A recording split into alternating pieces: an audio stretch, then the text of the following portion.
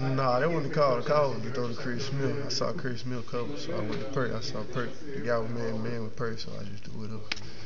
Him man in the hands. We hear Georgia's got a humongous defensive line. What kind of challenges does that present this week when you guys are trying to figure some things out up front yourself? Uh, well, they pretty big up front, but uh, it ain't nothing we can handle. We trying to put the best five uh, O linemen we got out there. And, you know, we just gonna go out there and try to execute on Saturday. What's the coaches emphasizing to you as far as facing their cornerbacks, which are you know obviously really good guys like Boykin?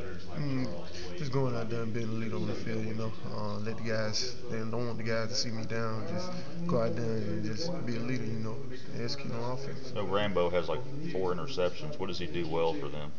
Uh, I guess he just cover good, you know. This guy I got to be on, on the lookout for it. And, you know, I just got to go out there and execute, go through my reads, my progressions, and just hit the guys who open.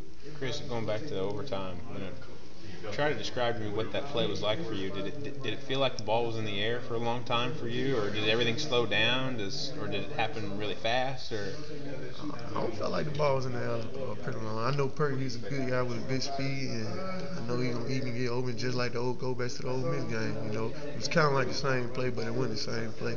So I just threw it up for Perk, and he made a big catch.